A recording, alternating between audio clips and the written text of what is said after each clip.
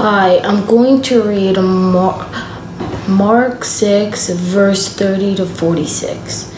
Jesus feeds the 5,000. The apostles gathered around Jesus and reported to him all they had done and taught. Then, because so many people were coming and going that they did not even have a chance to eat, he said to them, Come with me by yourselves to a quiet place and get some rest. So they went away by themselves in a boat in a boat to a solitary place. But many who saw them leaving recognized him and ran on foot from all the towns and and got there ahead of them. When Jesus landed and saw a large crowd, he had compassion on them because they were like sheep without a shepherd. So he began teaching them many things.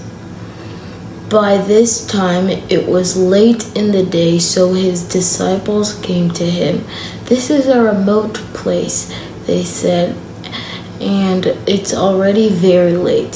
Send the people away so so that they can go to the surrounding countryside and villages and buy themselves something to eat.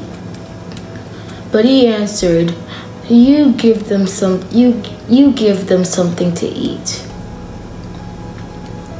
They said to him, It would take more than half a year's wages.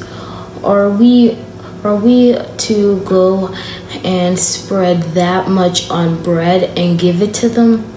How much loaves do you have? He asked. He asked, Go and see. When they found out that they said they said five and two fish.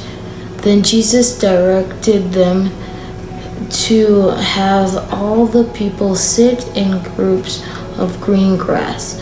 So so they sat down in groups of hundreds and fifties.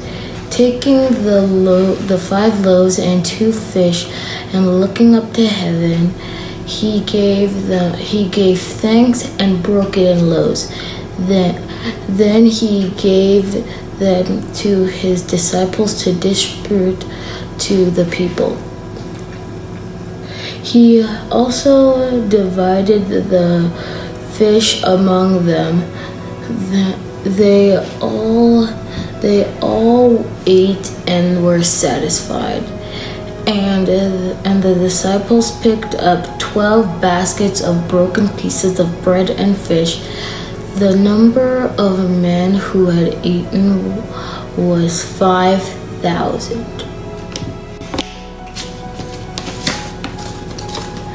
I like this passage because it teaches us to trust in God to provide for us.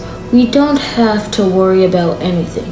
Jesus was able to feed 5,000 men, women, and children with only five loaves of bread and two fish. That shows us Jesus is incredible. Jesus took care of the people by teaching them of God, by teaching them of God about God, and and feeding them and feeding them. They followed him like sheep followed a shepherd. Jesus is our shepherd too, and we can trust in him.